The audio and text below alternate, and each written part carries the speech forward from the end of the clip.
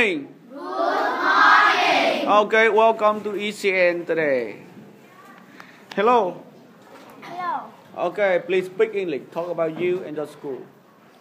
Hello, teacher. My name is Mỹ. I'm studying at Lincoln Chang Secondary School. My school has many good things. Firstly, it's not very big, but it's very beautiful. Has many flowers and green trees. Dừng lại nó con bé.